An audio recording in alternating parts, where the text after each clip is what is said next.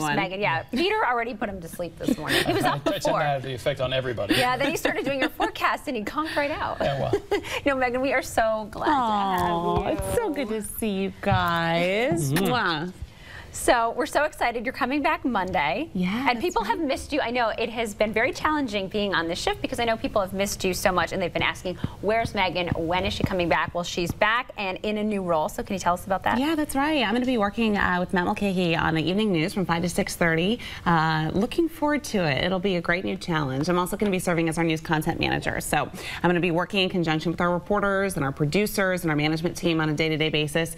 Um, you know, really focusing on stories that are compelling and engaging. We want to focus on interactivity, and uh, we hope to do some really exciting things in the future. Well, we're looking forward to that. And people want to know, what have you been up to all summer? And obviously, we know you had a baby who is adorable, so adorable. Thank you. Yeah, Henry's four months now. The time flies, right? Yeah. And, yeah, uh, that did go by really quickly. Olivia's here too, but she she she's sitting out this segment right now. She was on earlier. I think she got a little tuckered out from, uh, Yeah. from the six o'clock Well, segment. the cameras around, paparazzi and everything else. Yeah, we and Pete, it down no, a little just. Yeah. kidding. yeah, but Olivia's two and a half now. You know, we've had a great summer. It's just been really nice to be out and about. Uh, Pete, we've had a beautiful summer, so Right. kudos to you. Oh, my pleasure. Glad I could help out. Now, what is the, why do we have here this? This is something for you? you to Yeah, well, the other big announcement here is that Lisa's going to be taking over the morning you. show, so I'm so Thank proud of you. You have Thank done an you. amazing Thank job. you so much. Um, I'm so excited for you. Lisa, um, as you may or may not know, is not a coffee drinker That's uh, like Pete and I, so I brought Oh, her a Thank big gulp. Well, it's a Love and it's got to be a Fountain fountain soda. soda. oh, none of this, you know, from the can kind of stuff. That's right. So you've got your caffeine. Thank you. You know, I have to say how wonderful it is to work with you. Megan and I started around the same time, and Within it's been same yeah, right, Yeah. right, exactly nine years ago. So it's been just so wonderful and people over get the you years. guys Yeah. confused. Yes, they I- always Which is used to. surprising to me. I'm not that, I mean, you kind of look similar, but I mean, you always wear glasses and you always don't. Well, that's the funny thing. People will stop me on the street and say, "Where are your glasses?" And I know they've said to you, "How's Yeah, your baby?" Which is so funny. but- Yes, yes, I did get that. I know. Could you imagine if you and I were co-anchoring a show? People would be like, "Wait, they're not the same person." So we are so happy to have you back, and Thank you know we can't So wait nice to to see be you in your new role. And thank you for bringing the little ones in because they are